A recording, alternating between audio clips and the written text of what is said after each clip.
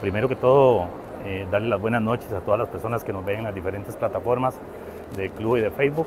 Eh, realmente muy, muy, muy contento con, con, la cantidad de personas que asistieron hoy a, la, asamblea. Era una asamblea que desde hace días eh, la gente tenía un poco de, incertidumbre para ver el, diseño final. La gente muy contenta, se contestaron prácticamente todas y se evacuaron todas las dudas que, había entre las personas. También se hizo la presentación del, hotel que va a estar en el sector sur.